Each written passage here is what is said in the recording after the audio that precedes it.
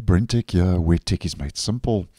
So just a quick video to let you know that if you are using the Phone Link app on Windows 10 and Windows 11, that I did notice today in my region that the latest update uh, through the Microsoft Store for the Phone Link app now allows you to share files between your mobile device and PC and vice versa. So this has been uh, as I've posted previously, been a feature being tested in the Insider program and has suddenly made its way with the latest update for PhoneLink and from the Microsoft Store now into the stable version. So um, you may have seen this, you may have not, just bringing it to your attention in case you were unaware.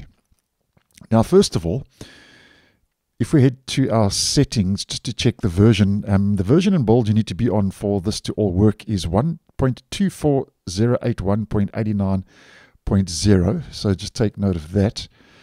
And uh, if you want to find out more information, basically a step by step tutorial, you can just click on Learn More, which will take you over uh, in your browser where Microsoft has um, detailed a kind of a walkthrough on how this will all work if you want more information. But just to give you a quick general overview as to how this will work, if you want to share a file from your PC to your phone, and uh, and what you do is you would head obviously to that file you want to uh, you want to um, transfer. Uh, you would right click on that in Windows. You'd click on Share, and then in the Share you can just click on the more options, and there we go. And what you would do is you would find Share using phone link. Okay, so that's been added now, and click on that and it says link to that JPEG of mine, my file created.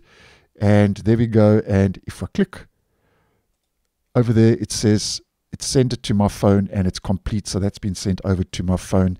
And if you want to know how to do it from your phone to your PC, then just go check that tutorial out by clicking on that learn more link. So just a quick video just to uh, bring this to your attention in case you're unaware that you are now able to share files between your mobile device and PC with the latest update uh, um, to the phone link app from the Microsoft Store. So thanks for watching, and I'll see you in the next one.